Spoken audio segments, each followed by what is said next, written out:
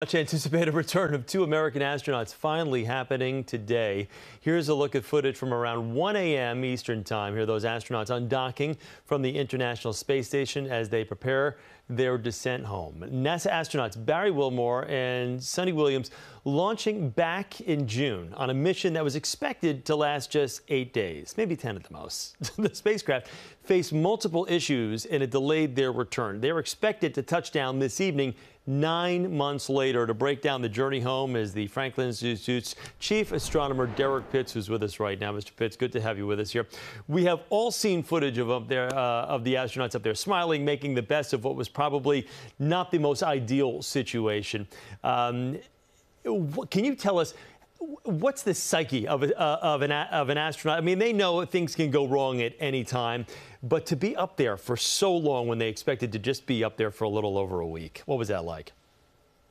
Yeah, Chris, good morning and thanks for having me. You know, the uh, the longest duration missions for astronauts at International Space Station is well over 300 days. So I think their records are 340 days and 370 days. So uh, in fact, astronauts long for an opportunity to spend this much time in space. And for these two astronauts in particular, they feel particularly fortunate because they were only supposed to be there for, as you said before, about eight to 10 days.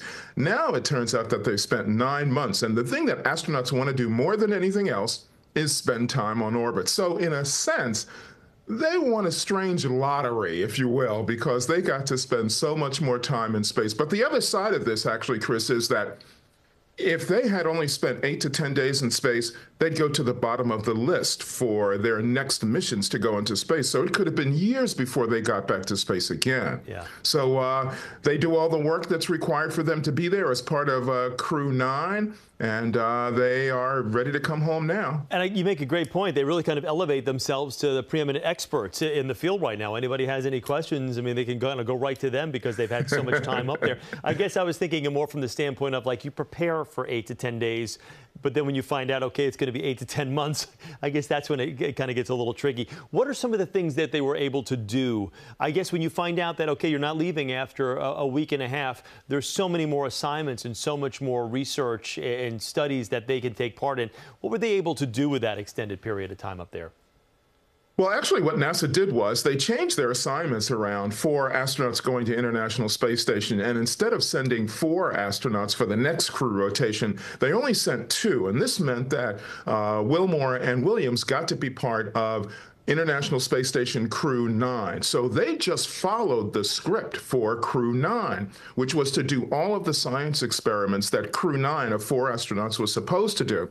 In addition, Sunita got to do two spacewalks. So that really added to uh, the work that she got done. And a lot of significant work took place in terms of preparing astronauts to go back to the moon for a possible trip at some point in the future out to Mars uh, training for the human body in space, and otherwise just building up more data about what it's like for humans to live and work in space, all to be applied to going back to the moon at some point. If you could put yourself in their position right now, they're uh, strapped to that capsule with two other uh, passengers, you know, rocketing back to Earth right now, uh, a 17-hour journey from the ISS back to splashdown later tonight estimated around 6 p.m. What do you think's going through their heads right now? Uh, uh, family aside, you think they're uh, a little melancholy that they had to leave, or, or you think they're really excited to just get back home and be on terra firma?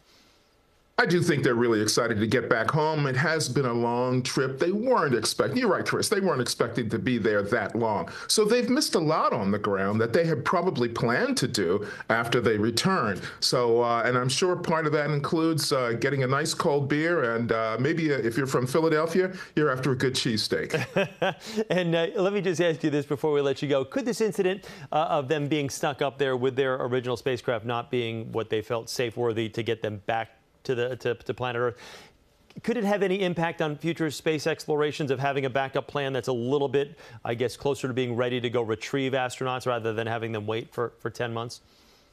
Yeah, the whole experience adds to our body of knowledge of what it takes for us to do space exploration. Space exploration is difficult because the technology is very, very complicated and needs to be tested over and over and over again to make sure it's going to work reliably. And on top of that, it's the question of how do our human astronauts, how do our astronauts survive, you know, uh, this extended stay in space? For long trips out to Mars, this is going to be valuable information, valuable data points for how we can mitigate the difficulties of long distance space travel. So this just adds to that, that body of knowledge. It'll be very interesting to see when they do decide to go all the way out to Mars if they raise their hands and say, you know what, I'm up for it. I've been up there for quite some time. I wouldn't mind doing it again. Uh, Derrick, thank you very much. Great to speak with you as always. Thanks, Chris.